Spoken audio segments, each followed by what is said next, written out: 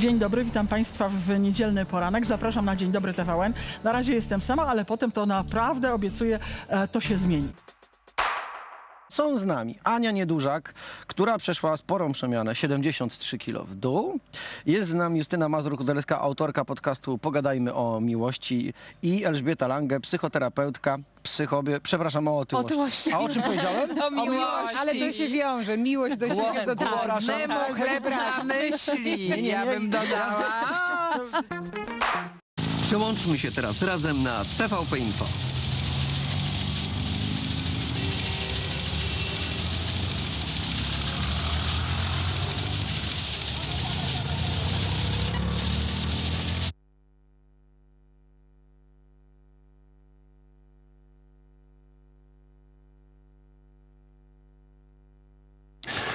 Dzień dobry ponownie. Przed nami kolejne informacje.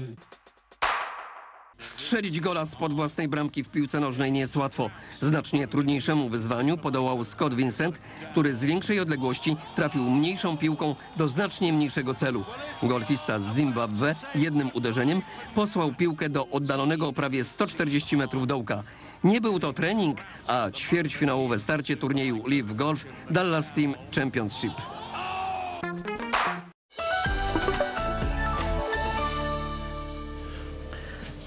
No i proszę bardzo, doszło do cudownego ożywienia. E, Dzień dobry Państwu, witam serdecznie. Dorota Wellman, Marcin Prokow.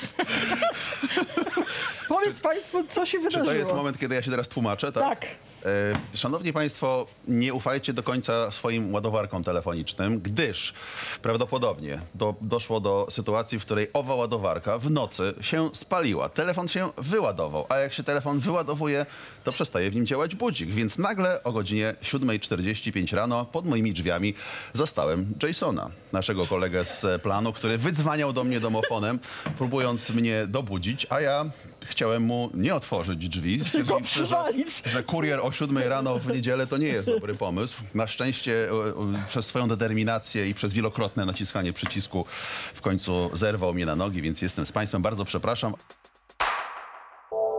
Festiwal Sand Art już czwarty rok z rzędu zgromadził tłumy artystów z całego świata. Ci, wykorzystując piasek znajdujący się u ujścia chorwackiej rzeki Neretwy, stworzyli prawdziwe, choć ulotne rysunki.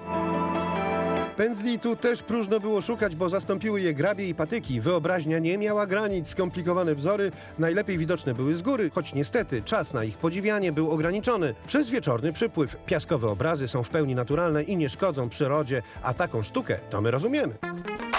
Brzmi pytanie tak. Mieszkaniec Wielkiej Brytanii. Brytyjczyk. Amerykanin. Amerykanin. Jednak nie.